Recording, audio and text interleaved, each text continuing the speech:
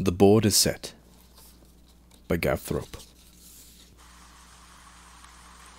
The wolves will be here soon. Indrith's hyperface, Asterographia, Exulta, frowned at Malcador's sentiment. His yellowed skin creased like a discarded rag. We detect no approach of that route. Have you had word from Russ? I misspoke, said Malcador, bowing his head in apology as he leaned his staff against the broad battlement, crossed his arms, and looked out across the vista of fortifications and warriors. I was referring to the Luna Wolves. You mean the sons of Horus? said his companion, the co-head of the higher tower of the Adeptus Astra Telepathica. That lacks any poetry. The astropath grunted and shrugged. You're right. The traitor fleet is days, perhaps hours away from arrival, he said. They stood atop the pinnacle where Indrith and his cohort of soul-bound psykers delved into the mysteries of the warp and rode the light of the Astronomicon to send and receive messages from distinct worlds just as astronomers used to place their observatories on high points to escape the miasma of light pollution. So the astropaths gathered in a higher tower far from the psychic shields that emanated from the imperial dungeon in the heart of the emperor's fortified domain. There is a cacophony that comes with them, continued Indrith. Stubble marked his chin and cheeks, when usually he was meticulously clean shaven. His green robe was a little disheveled, also telling a tale of tension, sleeplessness, and constant activity that was continued in the red rims of his eyes. At first we thought it was simply backwash, warp static. There are dozens of ships, after all. Hundreds, Malcador quietly corrected. Thousands, perhaps. Indeed. Enric coughed nervously. Another recent tic he had developed, along with fingers fidgeting at his robe belt. Malcador observed it all without comment. But the strain of seeking the traitors in the warp had taken a heavy toll on all of the warp psykers under the sigillite's demesne. But it is not warp swash. It is the Empyrean itself, a psychic renaissance that traveled with the traitors, not caused by them. What's the business that such a hideous trumpet calls to parley the sleepers of the house? Speak! Speak! Enlit scowled in confusion at the Emperor's regent. Malcador sighed. Great Elmruns. The herald lift their collations to their lips and announce the arrival of their treacherous lord. What heralds? Now is no time to speak in your mysteries and riddles, Sigillite. It does not matter, said Malcador, dismissing himself and Indrith's concerns with a waved hand. He took up his staff and gazed at the Astropathica, Exulta, measuring his metal. Cease your deep watch. There is no more to be learned this way, and your people must have rest. They'll be given greater challenges in the days to come. But what of Horus? He is coming. We can neither turn aside his course, nor shall stall his arrival. Better to be strong to receive him in the right fashion, yes? Malcador turned and headed along the rampart back towards the tower. His next words were for himself. And when he arrives, there's not a living soul on Terra that will not know of it. For nearly seven years, a labor force of more than a billion souls had worked beneath the tireless genius of Rogal Dorn, building the most daunting fortress in the history of humanity and yet as Malcador traversed the Imperial Palace, heading deep towards the Imperial Dungeon, The activity was noticeable, as the day had begun. The Praetorian took nothing for granted, even now. On the very cusp of the greatest battle for mankind's survival, he left nothing to chance. Thousands thronged the passageways, moving supplies to just the right batteries and storehouses, or deployed cannons and blades to guardhouses as dawn fastened some arc of fire, or incorporated the last dregs of the industry from foundries that would soon fall cold. Malcador was more sanguine, although far from complacent, as he had told Happerfest events had been set in motion that would not be steered by the placement of forty more shells in the rightmost tower of the gate, forty-two in the lower Malaya periphery.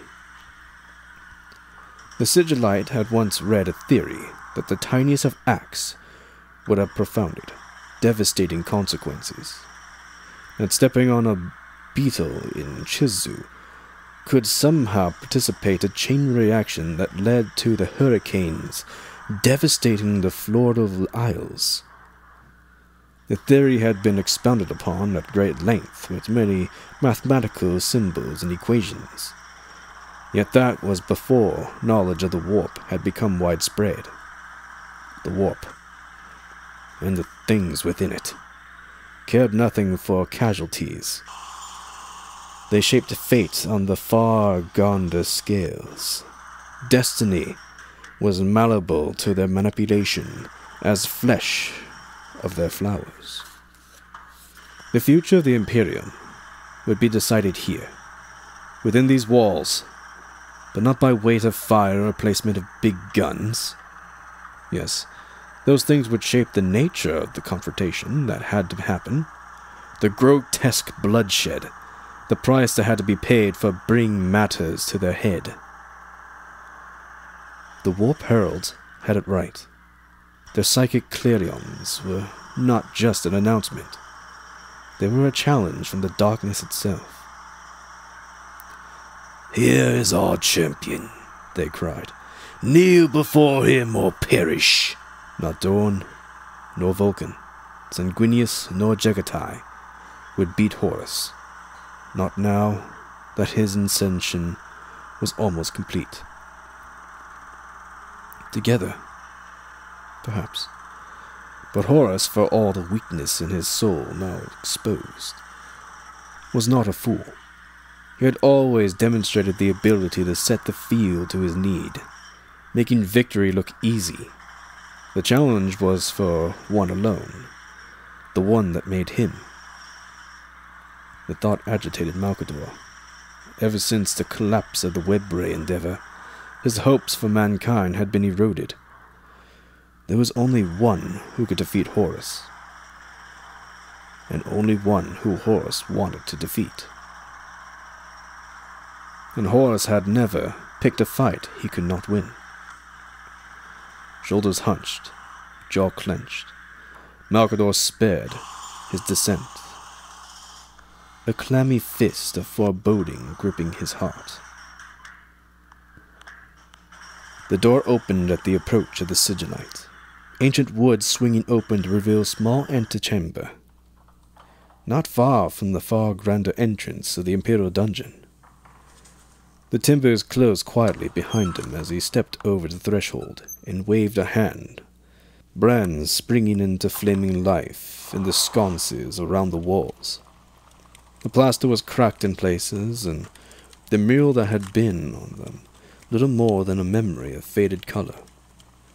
The tiles of the mosaic floor were similarly incomprehensible, worn almost smooth and colorless by the generations of passages across them. There were no other doors, and the only furniture was two high packed chairs, facing each other from across a circular table. Upon the table was an octagonal board of granite and pale marble, besides a light wooden box. And upon the geometric spaces were set twenty playing pieces.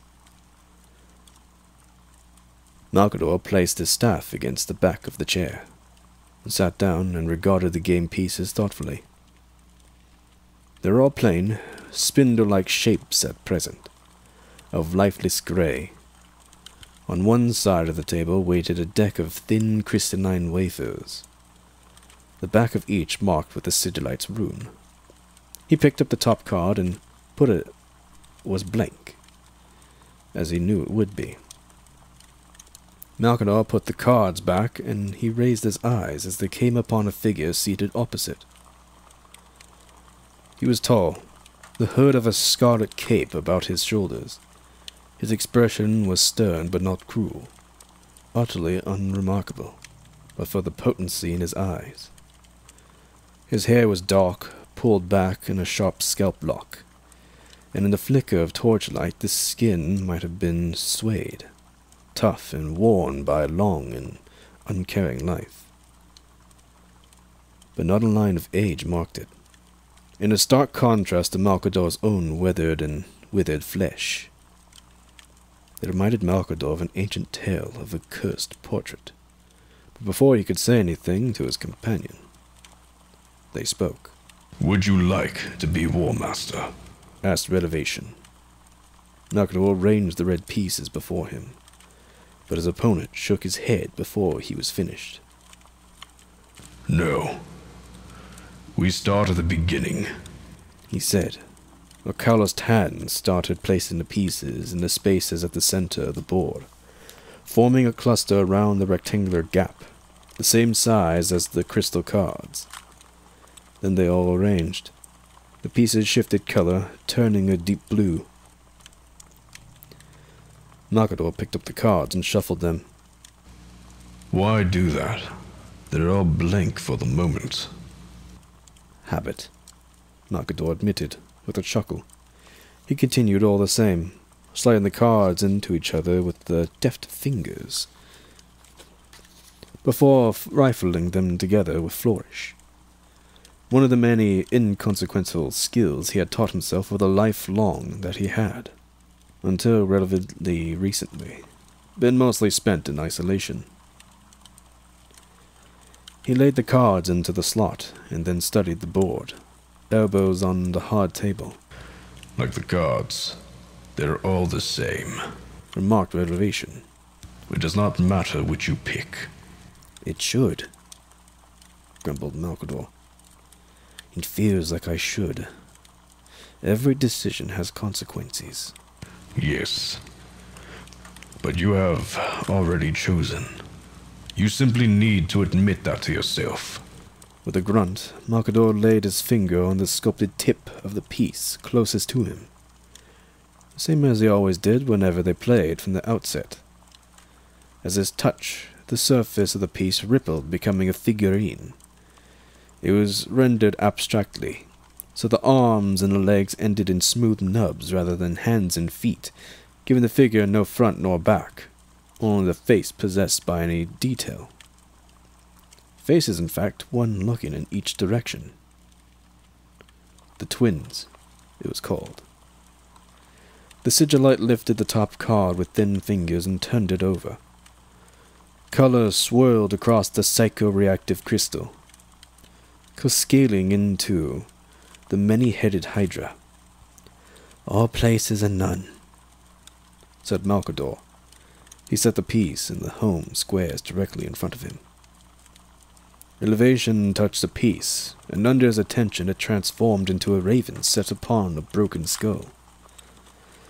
Talons digging into the bone, and revealed the card turning black, In Revelation moved his piece to one side also. The shadows conceal, he announced with grim expression. In Malcador's fingers, the next card was glossy red like fresh blood. He set the piece in one corner where it became a warrior, scarred and down on one knee. King of Nothing. The hooded assassin cloaked in tatters and card of the blindfolded. Scepter. The blind darkness. The hawk soars. Lord the clouds. The chosen. They continued, activating each piece in turn, scattering them to their true starting positions as dictated by the cards. When all was arranged, ten figurines each, the game began in earnest. Having adopted the part of War Master, Malcador's was the first turn. He hesitated, fingers hovering over the piece that had become the Lord of the Hearts. A noble figure clad in armor, held aloft on the shoulders of two companions.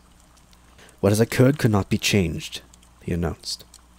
We have played it out a hundred times. Humor me. The traitors are on their way. They will be in the solar system before we finish. We do not have the time. Revelation sat back, hands folded in his lap. Then why do you come? He asked. Am I to be a distraction from your woes? I wish to find the answers. As ever, said Malcador. I seek your wisdom, your insight. Why? It was such an unexpected question that the regent had no reply for a short while. I.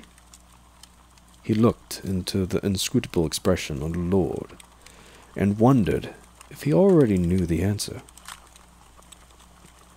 Revelation sat impassive, the embodiment of patience. Malcador swallowed hard, confession welling up inside. I am afraid. He picked at the Lord of Hearts. The figure seemed so noble. It does not start with that piece, said Revelation. What is the cause of your fear? This time the answer came swiftly and easily. Failing you, said the sigillite. Not death. If I am dead, I am beyond regret. To live with failure would be a torment. Would it reassure you to know that if you fail to defeat Horus, your regret will be short lived? One might even say fleeting. An instant or eternity makes no difference, Play. insisted the Lord of Terror. Malcador replaced the Lord of Hearts and his fingers moved to the Chosen. He slid it next to the Lord of Hearts. He revealed a card, a golden hollowed eye. Awakening, muttered the Sigillite. Both pieces turned red as he set the card onto one side. Revelation moved the Hydra back to the center and took a card, an ancient set of scales, in perfect balance. Division. He announced. The twins' piece became two, each individual without hesitation. He set one before Malcador and the other in front of himself. The sigillite tried to move the perfection to safety, represented by the immaculate looking diamond. But Revelation played ambition, and a tiny but ugly flaw appeared in the depth of the gem. You always cheat, said the regent. You control the cards, and I do not. Do I? Revelation did not seem amused. Or does it simply seem that I do? They are attuned to you and you alone, said Malcador. Who else would make them change? Perhaps it is because you only see them that way. It would be your interpretation that is representative. Or maybe the game is rigged against you, as you claim.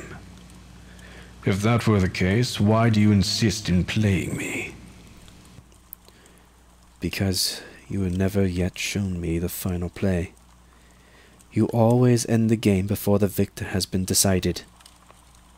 Malcador cleared his throat. We have run out of time. If you have a plan, it is now that you must reveal it. What if I told you that I did not know how to win? You are more powerful than Horus even now. That is not what I said. Sometimes I play the game as War Master, and you as the Emperor. It does not change the game. Frustrated, Malcador snatched up the perfection and used it to sweep aside the Iron General. The opposing piece tumbled, the head crowned with sunbeams rolling across the board. Clumsy, said Revelation. He picked up the two transmorphic pieces and set them back into the wooden box beside the board. Perhaps I will fix that later when I have some time. The Regent's card. The Great Tempest. In a flurry of moves, his pieces cut a line through his opponents, separating them into three enclaves.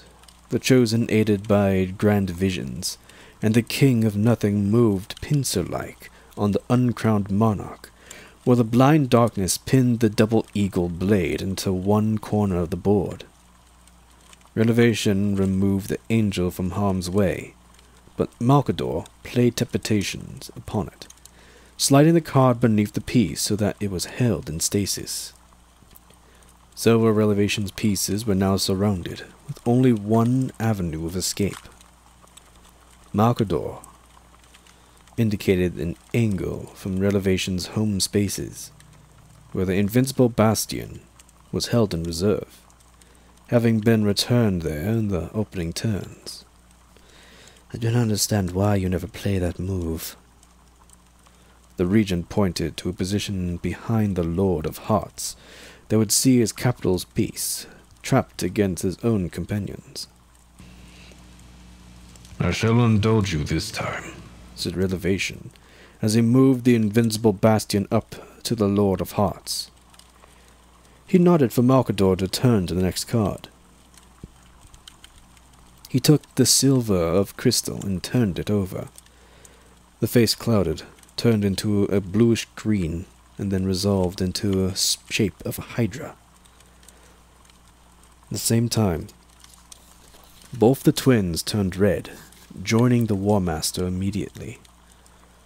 Malcador saw that he could move one of them into to the space that had been occupied by the invincible bastion, forcing a capitulation.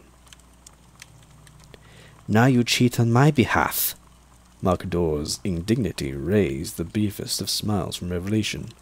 Whatever made you think there was only one Hydra card? He picked up the next four and fanned them towards his regent, each of them showing the same design of the many headed dragon.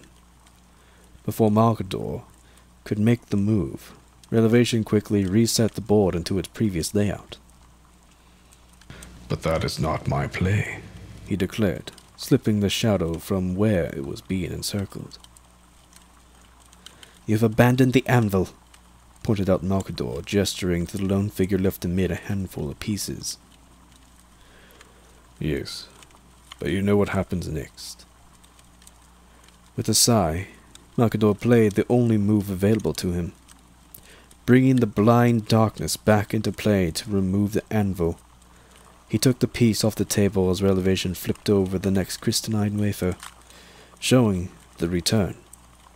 Revelation reached into the game box a box Malcador knew to be empty, and placed a fresh anvil piece on the board, eyes fixed on the sigillite. Revelation slipped the return back into the deck end. Contrary to his earlier, Bob shuffled the pack. Signed again, Malcador considered his next move, as if Revelation would leave him any choice. The game continued as it always had done, each time before. Malcador tried to vary the course of his moves, to capture pieces previously denied him. But a turn of a card or a cunning play by relevation always set the pieces back into the positions they had already occupied, many times previously. Revelation tried to push the library into Malcador's home squares, forcing him to play the misdirection and falling blade together, temporarily taking control of the hungering wolf to intercept the move. On the other side of the board, the angel, uncrowned monarch, and double edged blade routed the chosen and the king of the nothing. From delaying moves by relevation in the blind darkness caused temporary havoc until the piece was captured.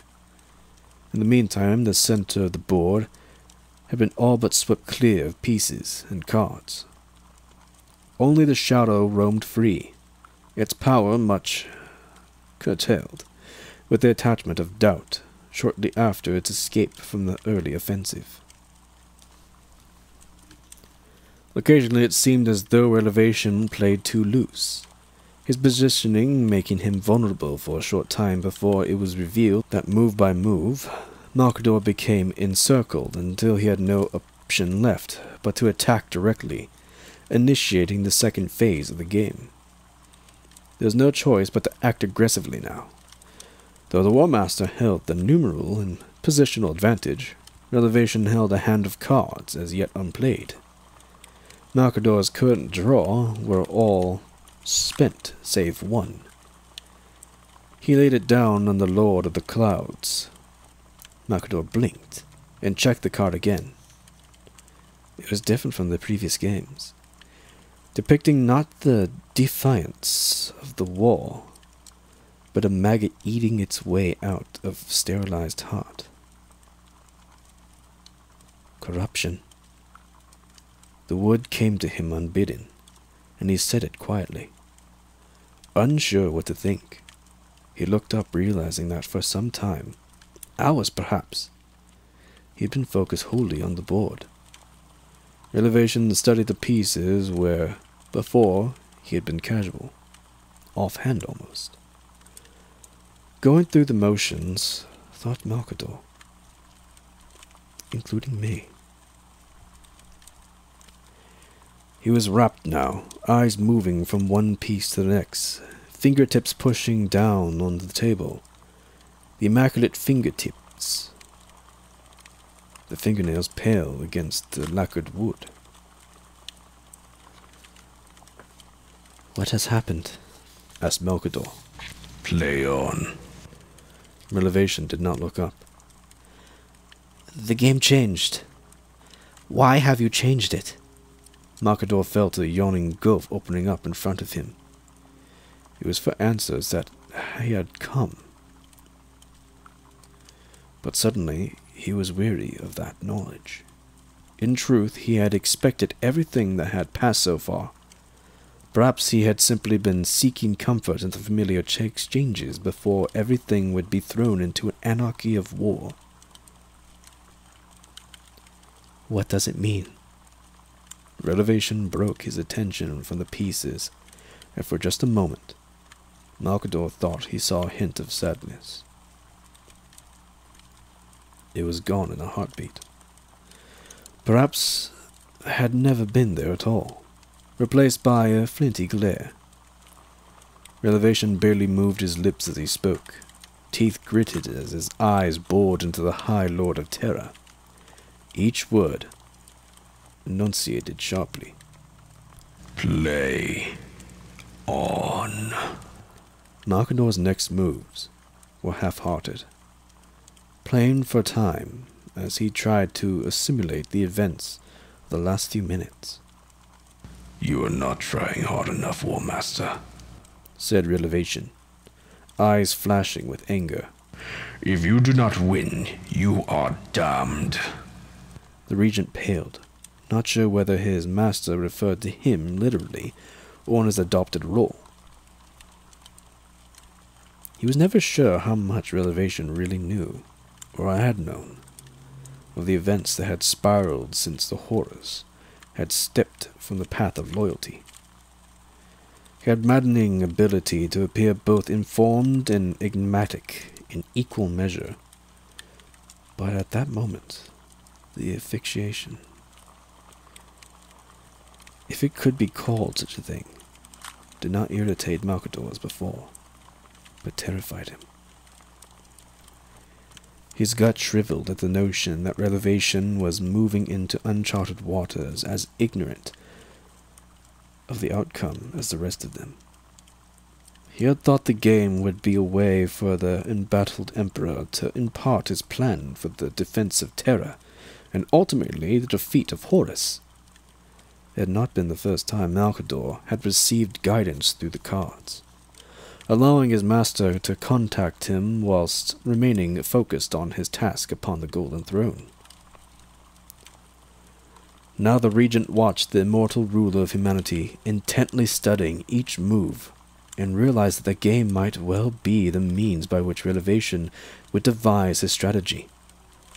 As War Master, he had to test Revelation thinking every bit as much as Horus would challenge it in real life. If he did not. I cannot do this, he said, straightening as he pulled his hands back from the board. What would you give for me?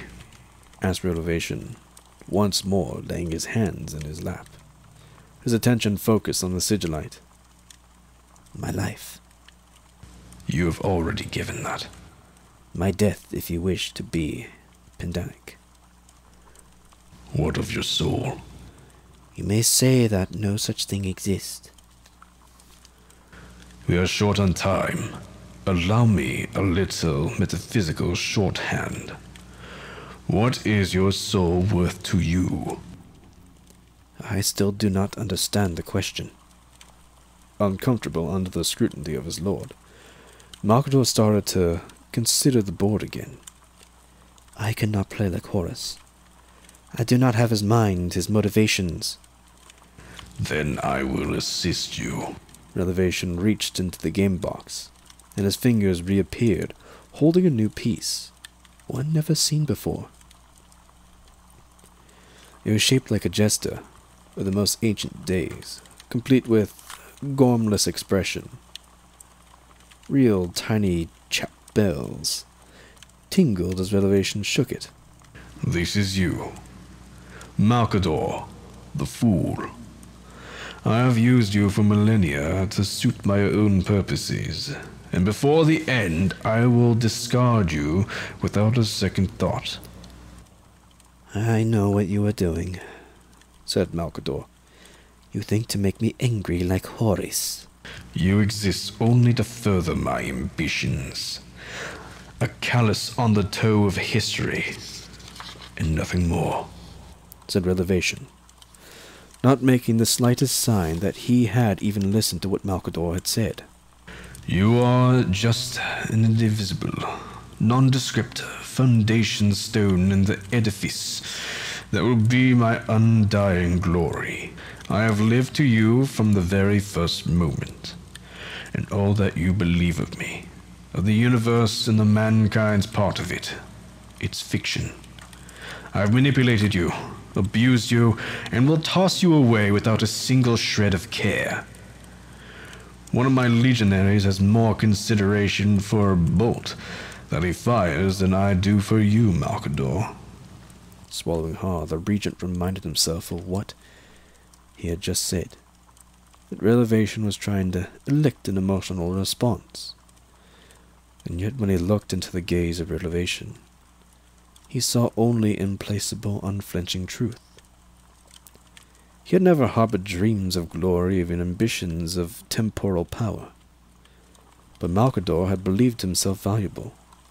He had taken strength from being counselor and advisor to the greatest intellect the human species had ever created, an aid to the most gifted psychic being ever born, compassion to an immortal who had lived thousands of lifetimes. I see you are starting to understand. A hint of a sneer marred Revelation's expression. He gestured toward the pieces set between them.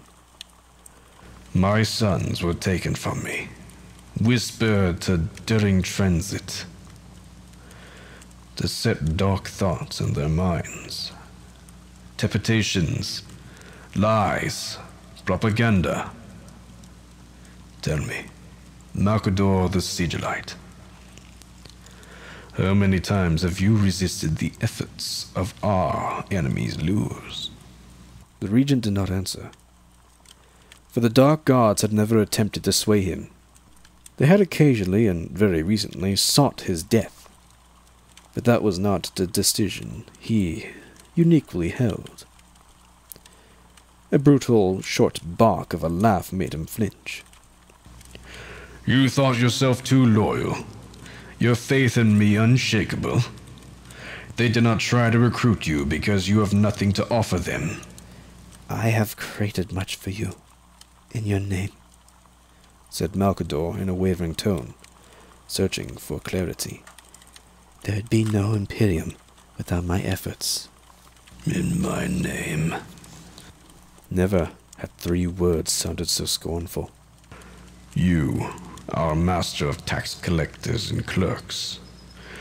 No Imperium without you. No, Malcador. Without the Imperium, you mean. What justification would there be to keep you around without your countless army of bureaucrats to sustain you? Even my remembrancers, poets, and pick takers contributed more to the Great Crusade than you did. He felt a tear roll down his cheek, his whole body quivering with shame. Malcador looked at Revelation with slight pleading and was rewarded with a contemptuous sigh. Some call you my left hand. Revelation held up the five digits and wiggled them. It is true. That's all you have been. An extension of my will. I twitch a thought and you act. I care nothing for the hopes and fears of my little finger. And less still of yours. Malcador opened his mouth, but could think of nothing to say. Do not stare at me like some docile ruminant. You said you fear failing me. But the truth is that you know that you already have. You cannot even bring yourself to hate me when I need you to. Revelation tossed the playing piece aside. It shattered against the wall. He did not even spare a glance for the discarded figments. There was no hint of remorse in his hard stare. Malcador looked at the splintered pieces of the fool Betrayal slid a hot knife in his chest. Its fire spread, inflaming his anger, and one thought burned hotter than the other. That revelation thought he might care about any of that, what he said.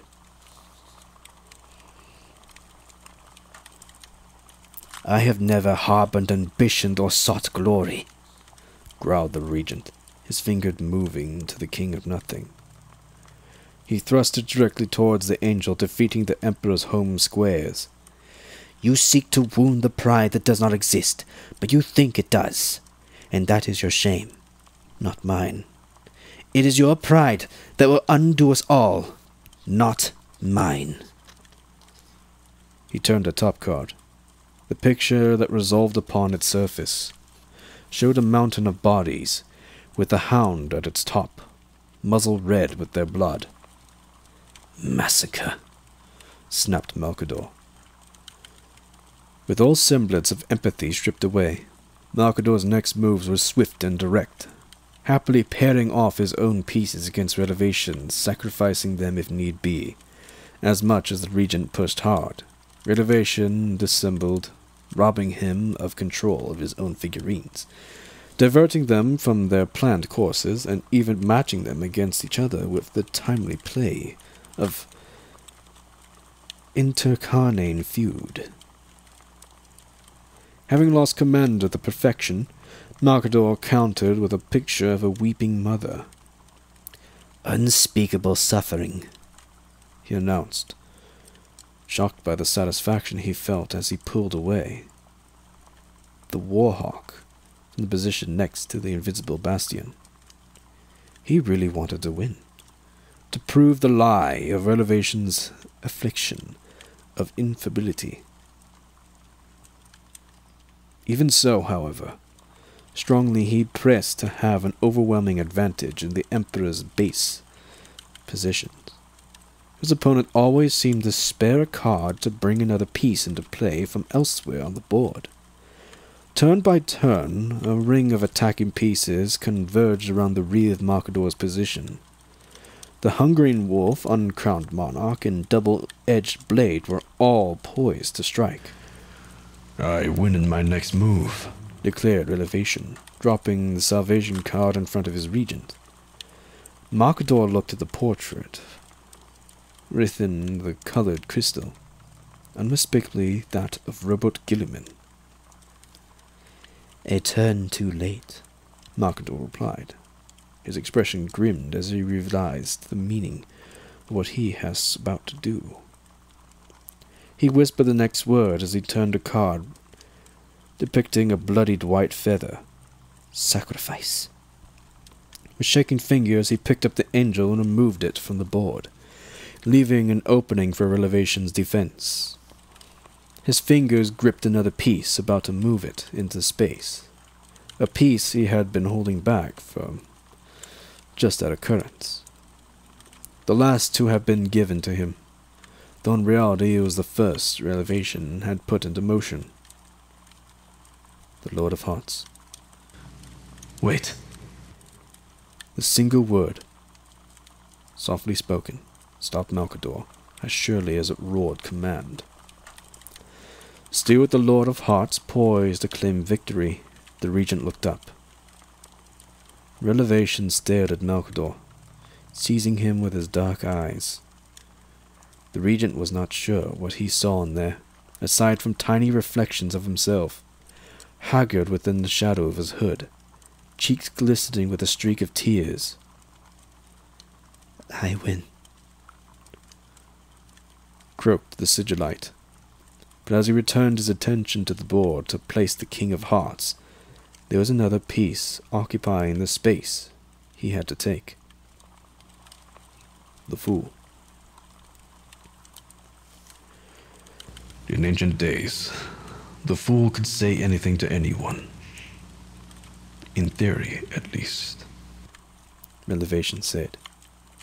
He smiled and warmth flooded through Malcador to see the expression. But then both the smile and his moment of hope faded. He was the fool's task to remain to kings and queens that they were mortal and weak, and not above any other. In the parlance of the latter time, they existed to speak truth to power. They defy authority, and most importantly, puncture tyranny. Malcador choked on his next words, not sure what to say. Even at the instant that he collected his thoughts, the distant ripple flushed through his mind. It stank in the nostrils and brought the thunder of the great storm to his ears, prickling skin and psychic sense alike. He felt the rift opening, tearing apart reality at the edge of the solar system. A chorus of infernal clariations screeched across the otherwise, his other sense. The War Master has arrived, he said, though he knew his opponent could not fail to know also. He looked up, but the chair opposite was empty. To whom do you speak, master? The voice of Lufta was like a hammer on the pane of glass, shattering the wall of concentration that Malcador had enriched around himself. He glared toward the door where the functionary stood, fingers making clamps of her white robe, as she stared fearfully at him. How long have you been there? Several minutes, master, the functionary told him. The Astropathica Exalta sent me with word that the traitor fleet will breach the warp veil within the hour. And why do you stare at me like that? What have you seen? You, master, playing the game by yourself.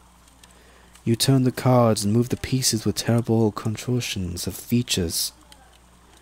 She wrung her robes a little more, and her eyes moved to the table. What does it mean? Malcador was not sure as he followed her gaze, seeing the pieces arranged at the end game. The Lord of Hearts was still in his hand, yet where the fool had been was now another piece, uniquely golden, shaped as a crown. Beside it lay the last crystal card, its image that of an eagle tearing out the throat of a serpent. Alright, that's going to do it for another video. I hope you enjoyed that little tidbit of the Horus Heresy and before the Siege of Terra even started. Getting a glimpse of it from another person's point of view is always interesting for me. These are all amazing little intricate stories of time that just slowly goes forward as we watch the devastation of Terra in the future books, the Siege of Terra itself. It's genuinely sad to see a lot of your favorite characters die off. Or, if you're a Chaos fan, die horrible deaths at the hands of their own gods.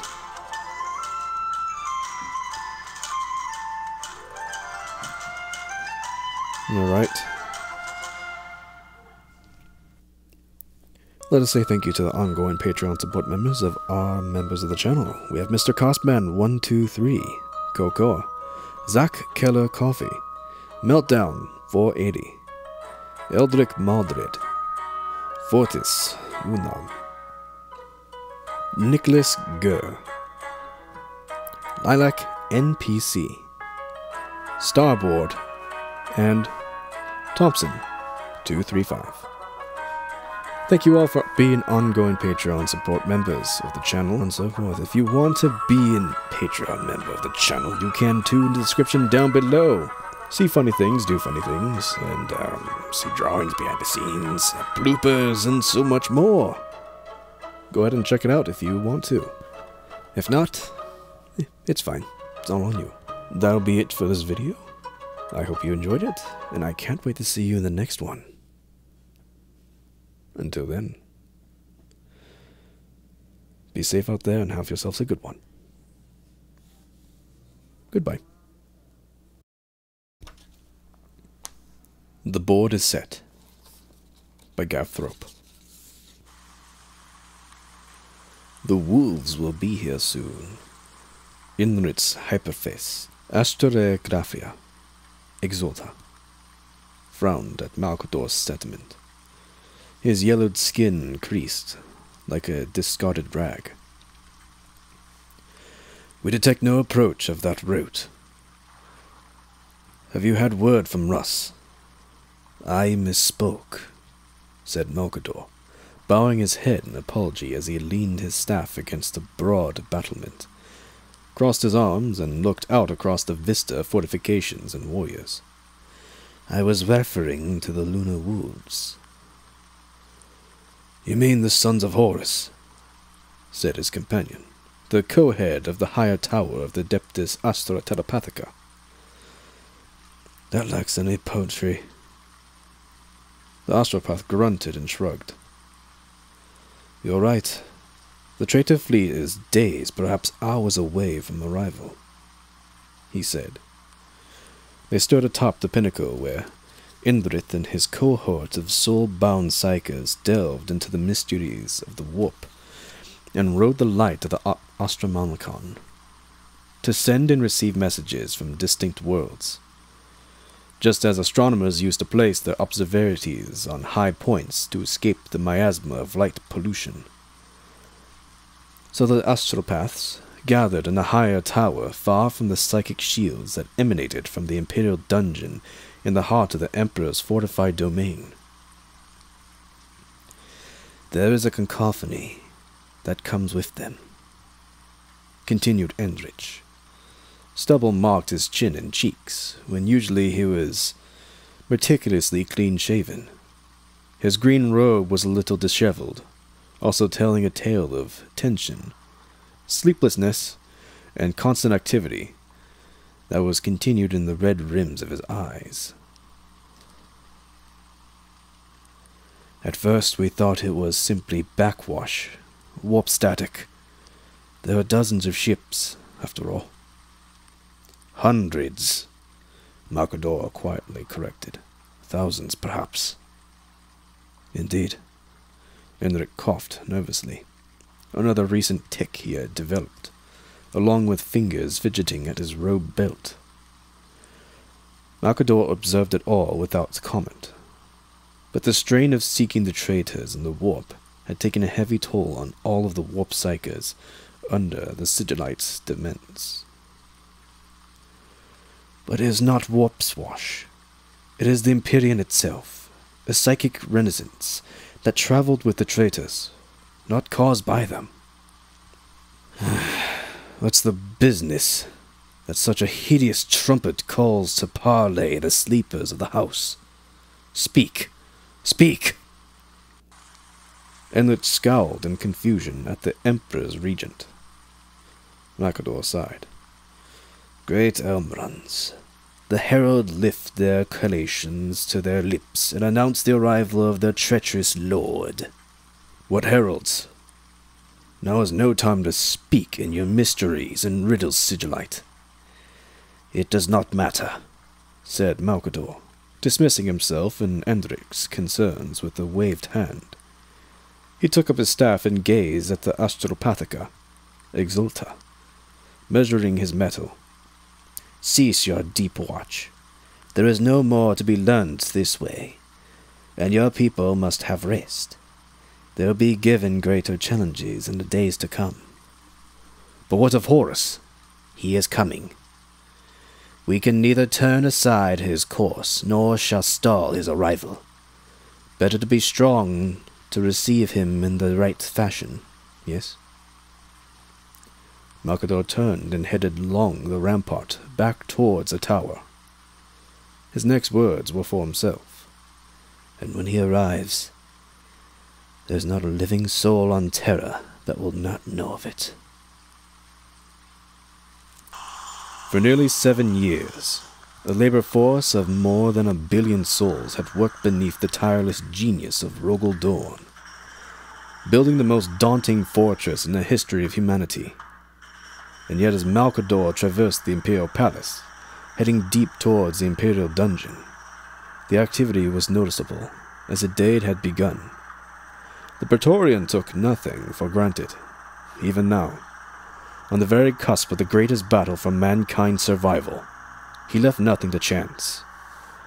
Thousands thronged the passageways, moving supplies to just the right batteries and storehouses, or deployed cannons and blades to guardhouses as Dorn fastened some arc of fire, or incorporated the last dregs of the industry from foundries that would soon fall cold. Malcador was more sanguine although far from complacent. As he had told Haperfes, events had been set in motion that would not be steered by the placement of forty more shells in the rightmost tower of the gate, forty-two in the lower Malaya uh, periphery. The sigillite had once